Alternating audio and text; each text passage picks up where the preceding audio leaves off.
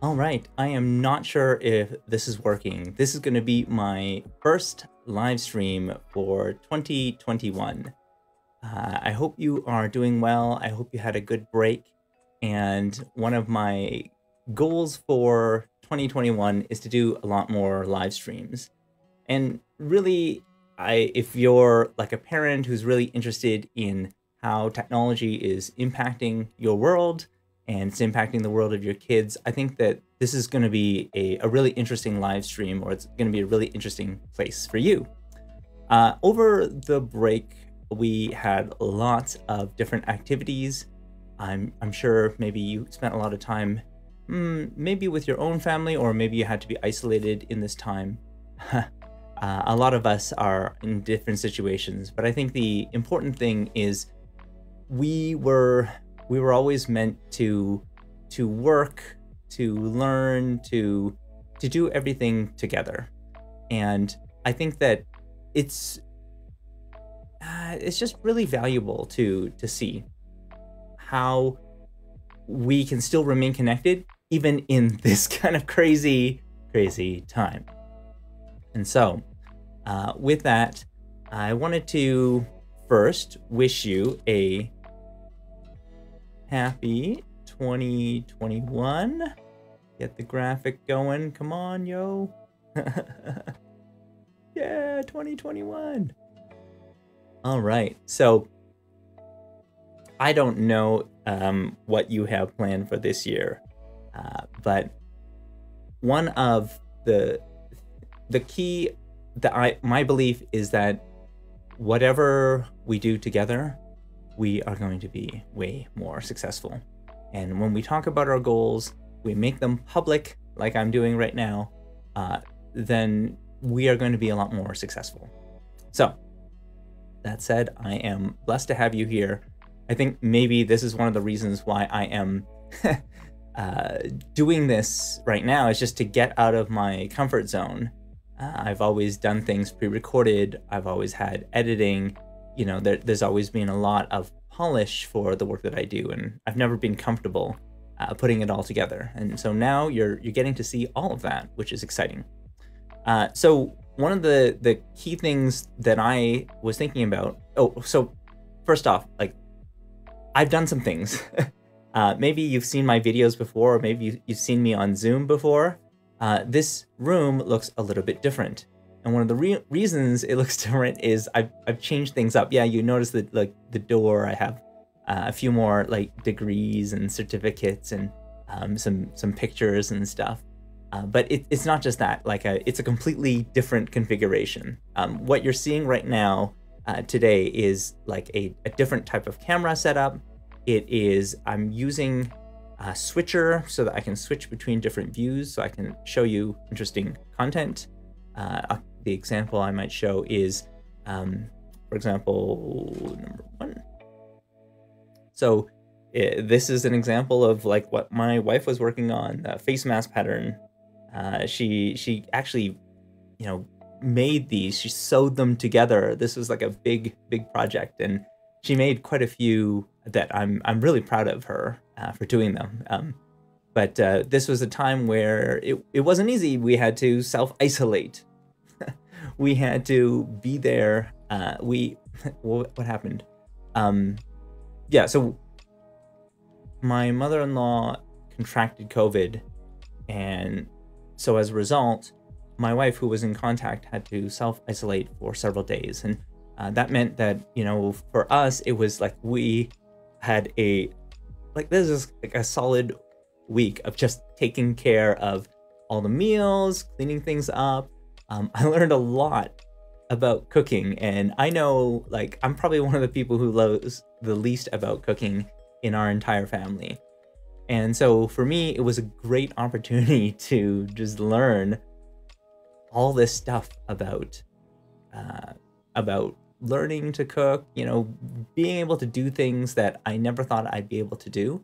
Uh, and upon reflecting on 2020, uh, that was really a key takeaway. I remember speaking with our uh, some some teachers that I connect with uh, in the Midnight Pedagogy group uh, about how we are one of my big reflections for 2020 is we're capable of doing a lot more than we think that we're able to do. And so I'm I'm pretty pumped about that. The the other thing that I wanted to share is like you you can see like the different configurations. Um, being able to do the picture in picture thing is actually for me kind of exciting. Uh, it's a, a, little geeky thing, but you know I can I can put my image into the corners now very easily. I can do all of this in a live stream, so it's going to make it easier for me to share my desktop and share content in addition to just sharing uh, stuff about the like the live just the live talking head video. Uh, so I think it'll make live streams a little bit more interesting for you, but hopefully it'll also be a lot more informative. My goal is every single time that we get together, there will be some uh, purpose for like for that I'll be presenting, and the purpose for today's presentation is just talk about hey what did you do for the new year and just talk a little bit about this new setup, this new configuration. What is it? Uh, what what is it for? Uh, so today, like since we're already talking about goals, I thought I might show you a different part of my configuration. so this is the. It's a little bit different. Um, I've also got a a live camera, um, and this is something to me that's pretty exciting. So uh, what you see here uh, is that working? Uh-oh. Okay. Yes. Okay, there we go. So uh, maybe I'll just put my image in the corner here. So what you're seeing here is this is uh, a live view of this, this um, yeah, basically it's a live view of my desk. And on it, I have like a, just a little planning calendar. Uh, one thing I like to do is it, it's really important to have small goals every day. So I like to write things down. And so today's date is, uh, let's say, January 8th, 2021. And I love to write down what are the most critical things for me to get done in that day. I like to write down uh, what are the things that would be really nice for me to do and things that I, I think I should do, but I'm just not going to have. Um, and this is just like a toy thing that I bought from, I can't remember where I bought. I think it was like Chapters or something. And I found it to be really useful, just like a simple way of writing down. And what's nice about it is like after I've written the thing down, I can just go, yeah, I got it right. Yeah, yeah, I got it right. So um, I, I love being able to do this. And so having these small little uh, goals and being able to say like, yeah, those are the things that I, I did today. Um, and so when I'm planning my day, and, and so that's kind of what I'm I'm actually thinking about doing right now is planning out my my day. This is this is a fun fun way of doing it. Uh, so that gives you a sense of like we're gonna be able to show you um, some things. This one, it, this camera, I think has a little bit of zoom on it. Yeah, it's like a, it, it's pretty neat. And getting this thing set up has taken me, like honestly, getting that just that part, just the camera part, uh, probably has taken me several months. And the reason for that was I had a configuration, but it had no power supply. I bought a power supply and it created this weird buzzing noise on my microphone. Um, just because like power supplies, switching power supplies generate a lot of EF noise uh, that goes directly into audio lines and you get like weird, weird things. So people were hearing a, a buzz in the microphone. I'm like, ah, that doesn't make any sense. There shouldn't be a buzz. Uh, and so I had to buy a, a different type of system. Uh, it's what it is is essentially like a battery pack and that converts basically AC ch that charges the battery, and then the battery then sends uh, DC voltage into the camera in order to not create any noise. Uh, so it's kind of a, a super geeky thing. Uh, it is what I love doing. I, I've done a lot of these types of explorations. Uh, I've, I've done this huge saga on uh, trying to figure out the ideal charging configuration uh, for all of our different devices. Uh, it, it, to me, everything is this, it, like especially technical things are these little experiments that I, I love improving on. Um, and in the same way, uh, parenting is this little experiment that I love kind of tweaking and experimenting and figuring out ways that we can improve on. And so I'll tell you a little bit of a story um, if you are still here. okay, so for my son, uh, he has ADHD and he struggles a lot with attention in school. So uh, over the Christmas break, we got a lot of Lego. And I mean, like one box of a thousand pieces of Lego, like three or four different sets. And so there was just an overwhelming amount of Lego everywhere. And in addition to like the concern of like me stepping on it and and and and those types of problems, uh, there was also the uh, the concern around well, what's going to happen uh, if uh, like he has too much of this and he's so focused on the the Lego that he isn't able to focus on school. Uh, so we, I did something called the Angel of Recycling uh, trick. I don't know if any other parent uh, does this, uh, but my son attends a Catholic school, and you know we we uh, we talk about the Angel of Death uh, that kind of bypassed the, the during the Passover, and we we came up with this notion of an angel of recycling uh, who that looks goes through the house looks through all of those pieces of lego that you've left on the floor on tables just in places that they're they're not supposed to be. Because I, I put them in bins so it's easy for him to find and he, he doesn't want to put them there he just leaves everything everywhere. So i picked everything up put them into a giant box and i told them well the no, I didn't tell them.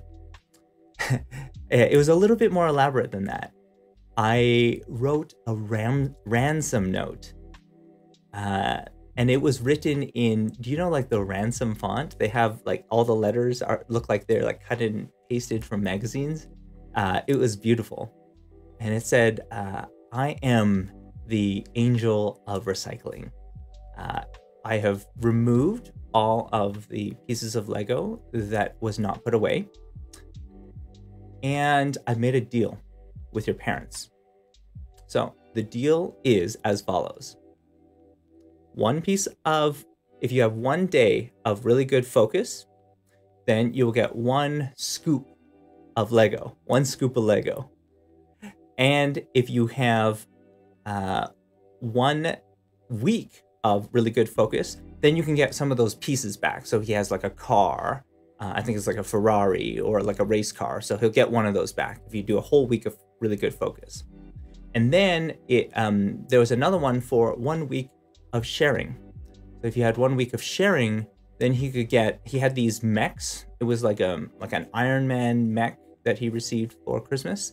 He can he can get that back. So it became this little game that he's got to earn back his uh, his thing. Uh, I'll show you a little bit more uh, about that in a future live stream. Uh, if if you're interested, let me know. You can leave a comment or something. Uh, I'll I'll read them afterwards.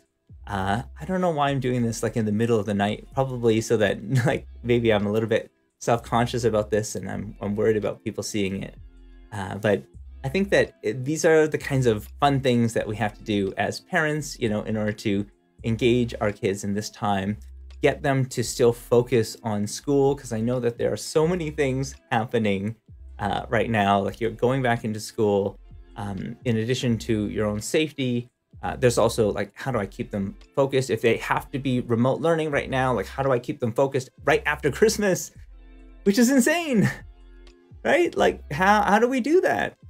And so, uh, my approach has been to take some of them away uh, some, especially the ones that aren't put away, aren't taken because then they don't really appreciate the gift anyways, right? Like how many gifts do kids get over the Christmas break?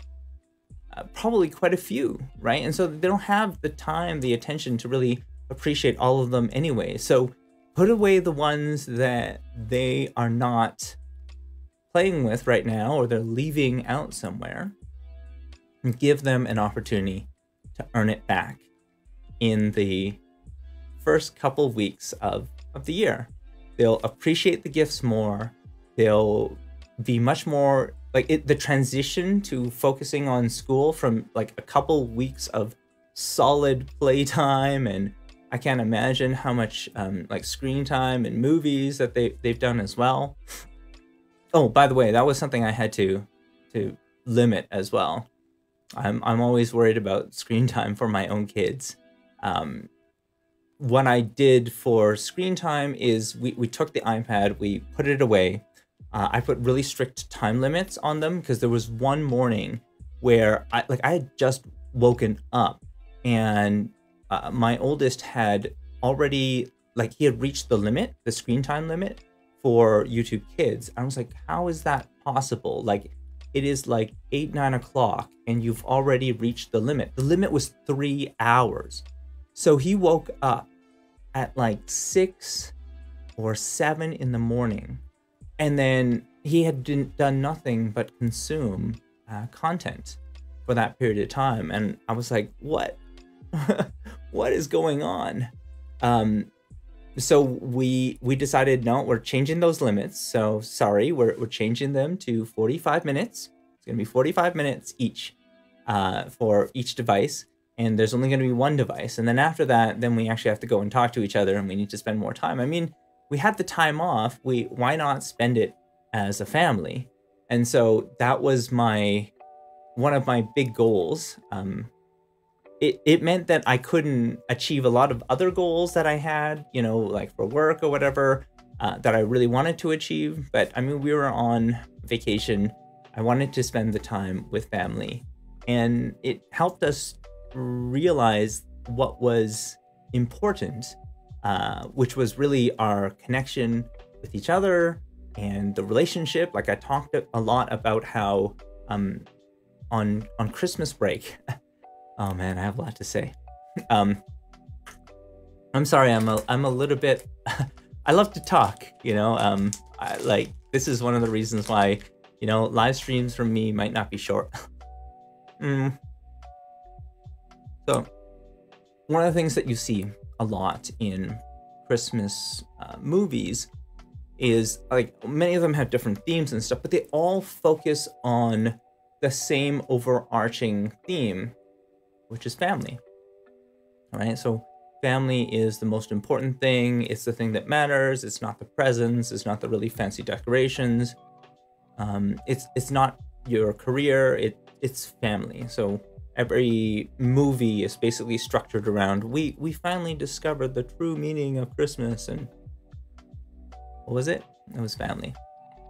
And so, uh, to me, this is very interesting. Um, it's, I imagine, also very challenging because there are many people who don't uh, have, like, they don't have a notion of family or their, their family situation is very different, uh, which is something that I appreciated in the movie Noelle, um, because Noelle was able to focus on, like, there was, I think she, she had a mom that was separated and she was actually at a homeless shelter um, and then there was a dad that had gone through a separation as well and wanted to spend time with his son.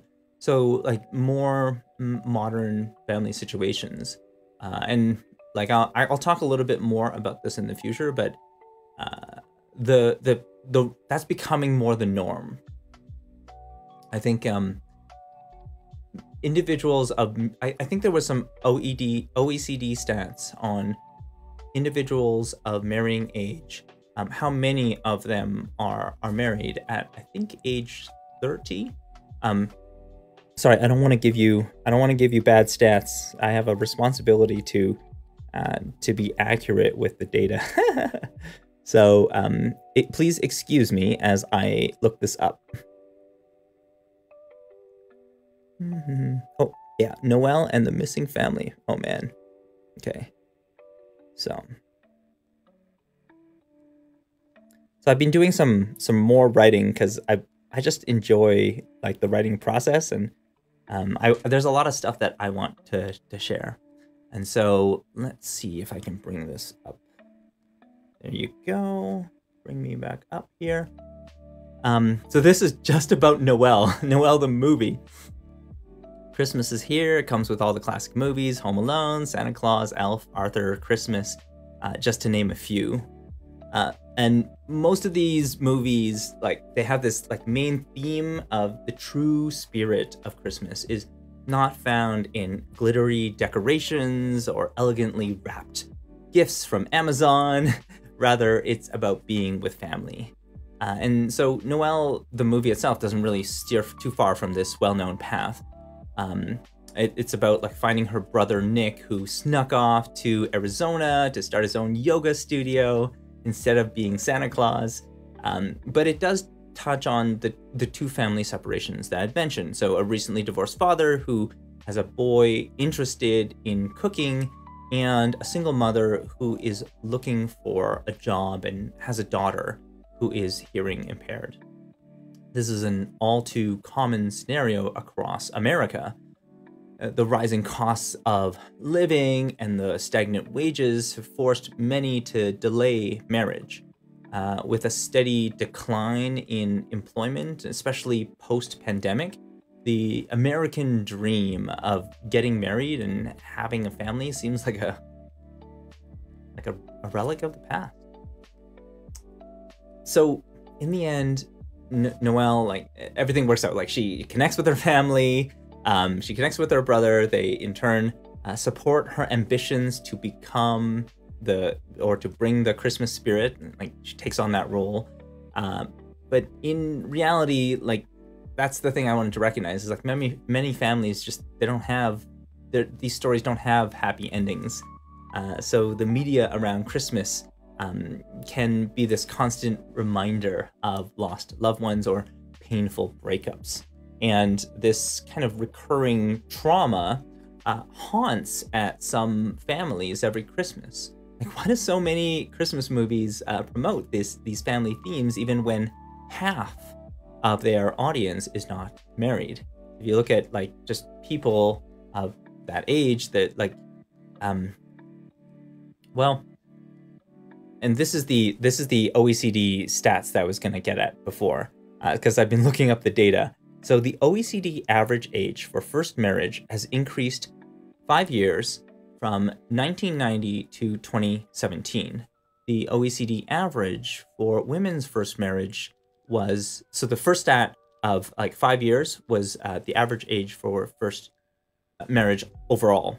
For women, um, the average age for first marriage was 25 in 1990 and 20 and now in two in 10 years later i think in 2000 it was 27 so 25 27 in 2000 and then 2017 it was 31 so 25 to 31 so six years six years later for average marriage uh, for men the average of first marriage was 28 in 1990 30 in 2033 in 2017. So clearly, both men and women are getting married much later. Um, what we are seeing is for men, it is five years later. Uh, for women, it is six years later. Um, and so, yeah, there's there's some very interesting stats there, um, and I think that this is something to recognize that that families are different. Families are different right now, and we need to be supportive of every type of situation. And that's one of the reasons why I wanted to do these live streams is to support people as much as possible, uh, especially um, parents with kids, because now more than ever, it's extremely difficult. We parents feel more disconnected from their kids than ever before.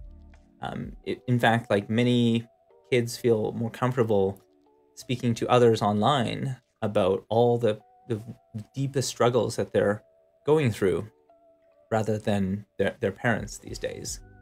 Um, so I'll, I'll cover a little bit more about that in the future. Now, I'd love to know if this session was helpful for you. Is there specific topics that you think I should cover in future live streams? Uh, again, this this whole session is just me running off the cuff, uh, making like I have some idea of what I'm to say, but I'm I'm kind of yeah, I'm I'm running it fairly loose. so I'm curious, what do you think? Is this something that you think would be helpful in the future? And if I scheduled a time that was more reasonable for you, like not in the middle of the night, uh, would you attend? And so if it is, um, let me know. Any feedback? Happy to, to share it. And looking forward to, to speaking with you all soon.